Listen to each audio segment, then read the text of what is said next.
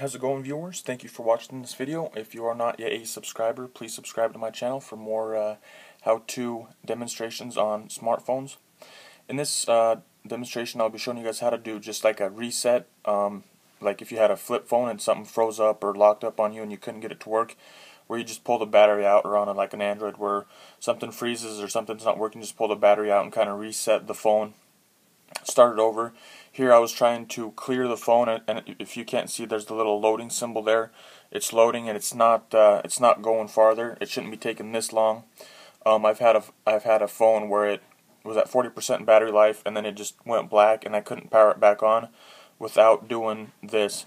Um, so if it's there doing that, what you want to do is hit the home button here and the power button up, up, up on top. Hit both of them simultaneously and just hold them it's somewhere like around 8 seconds, maybe 10 seconds. We just keep holding them until the Apple logo pops up. And once the Apple logo pops up, this is kind of like the phone doing a reset. So maybe something froze and you you're, maybe you're like on the web or something, then then it froze on that screen and you're trying to get out, the home button doesn't work, or you know you try to power the phone off, or just by hitting the power button and then opening it back up and hopefully hoping it would open back up.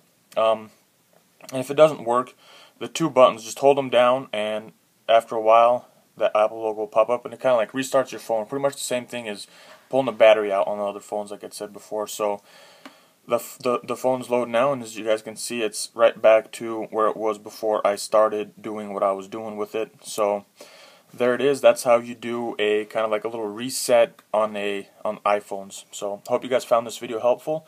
Uh, please like and subscribe. Thanks.